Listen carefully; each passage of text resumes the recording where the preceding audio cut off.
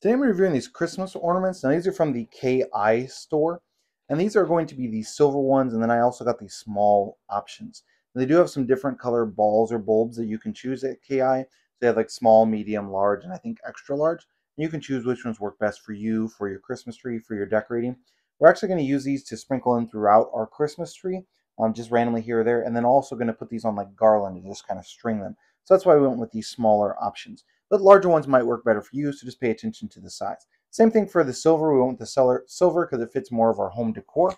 And so that's why we went ahead and grabbed these. You can choose whichever color works best for you. Let me go ahead and, uh, this is taped all the way around, so I'm going to go ahead and grab some a knife and uh, open this up. Now, as you can probably see, there's going to be a variety of different bulbs in here. Now, these are going to be shatterproof because they are going to be made of plastic, not of glass. So that is something to keep in mind. We do have some different looking bulbs here. So again, they're going to be plastic. Don't have to worry about kids dropping them, breaking them, which is why we grab these. We have three kids and a dog, and they tend to knock things off the Christmas tree a good amount of time. So that's why we want these that are shatterproof. Um, one thing about these really glittery ones, although they are really pretty, they're going to leave glitter everywhere. You can maybe see it like shimmering on my fingers here.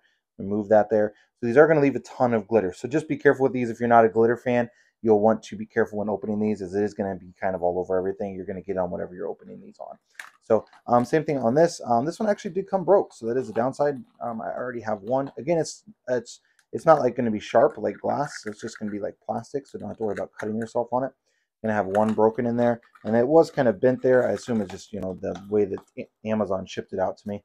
Um, so that is going to be a downside to that. Um, might have a couple broke. If you do, just reach out um, to KI, and I'm sure they'll, they'll, be able to fix that. But it looks like it was just that one that was broken. And this one is going to have a lot of uh, shimmer on it as well. Again, going to be different. So I've got so far five different types of bulbs here. So I've got the glitter one. I have this one that's almost like a disco ball. And then I have this one that's kind of like uh, has the, the long stripes on it. This one is going to be a little bit glittery. I don't think it has glitter on it, but it looks glittery. And then it has the different uh, diamonds on it. This one's just going to be solid. And then you have the glitter ones. And I think that's going to be it.